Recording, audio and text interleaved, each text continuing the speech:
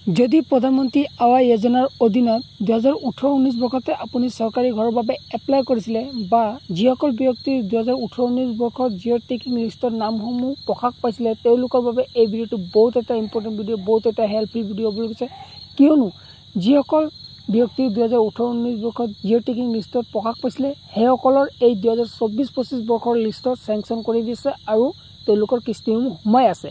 এতিয়া যিসকলৰ দুহেজাৰ ওঠৰ ঊনৈছ বৰ্ষত জিঅ' টেকিং হৈছিলে তেওঁলোকৰ দুহেজাৰ চৌব্বিছ পঁচিছ বৰ্ষত চেংচন হৈ আছে আৰু সেই চেংচন হোৱাসকলৰ ভিতৰৰ পৰা কিছুমানৰ নাম কৰ্তন হ'ব কিয়নো আমাৰ চৰকাৰে এই কেইদিনৰ ভিতৰতে আমাৰ কেইটামান নিয়ম জাৰি কৰি দিছে। এই নিয়মকেইটা যদি আপোনাৰ হয় তেন্তে আপোনালোকে ঘৰসমূহ পাব। যদি নহয় তেন্তে আপোনালোকে ঘৰসমূহ লাভ কৰিব নোৱাৰিব। সেইবাবে আপোনালোকে এই ভিডিঅ'টো বহুত ইম্পৰ্টেণ্ট হ'বলৈ গৈছে সেইবাবে ভিডিঅ'টো স্ক্ৰীনকৈ শেষলৈ চাব।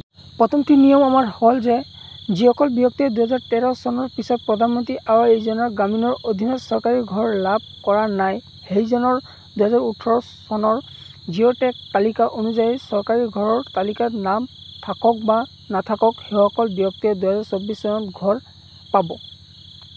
প্ৰথমটো নিয়ম আপোনালোকে বুজি পাইছে তাৰপিছত আমাৰ দ্বিতীয়টো নিয়ম হ'ল যিসকল যোগ্য ব্যক্তিয়ে দুহেজাৰ ওঠৰ ঊনৈছ চনৰ জিঅ' টেক তালিকা অনুযায়ী দুহেজাৰ চৌব্বিছ পঁচিছ বৰ্ষৰ চেংচন তালিকাত নাম অহা নাই তেওঁলোকৰ ঘৰত পুনৰ ভেৰিফিকেশ্যন কৰা হ'ব।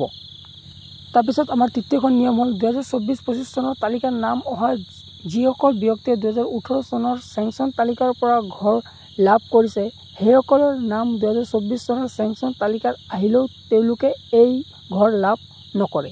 তাৰপিছত আমাৰ চাৰি নম্বৰ নিয়মটো হ'ল যিসকল ব্যক্তিয়ে দুহেজাৰ ওঠৰ ঊনৈছ চনৰ জিঅ' টেক তালিকা অনুযায়ী চৰকাৰী ঘৰৰ তালিকাত নাম আহিছে কিন্তু তেওঁলোকে ইতিমধ্যে সম্পূৰ্ণকৈ এটা পকী ঘৰ সাজি লৈছে। তেনে ক্ষেত্ৰত ব্যক্তিজনৰ নাম লিষ্টৰ পৰা কৰ্তন কৰা যাব। তাৰপিছত আমাৰ পাঁচ নম্বৰ নিয়মটো হ'ল দুহেজাৰ চৌব্বিছ চনৰ চেংচন হোৱা চৰকাৰী ঘৰৰ তালিকাত নাম থকা কোনো যোগ্য ব্যক্তিগৰাকীৰ মৃত্যু হৈছে। তেন্তে মৃত্যু ব্যক্তিজনৰ মৃত্যুৰ প্ৰমাণ পত্ৰ দেখুৱাই পৰিয়ালৰ কোনো এজন যোগ্য ব্যক্তিয়ে এই ঘৰটো লাভ কৰিব পাৰিব।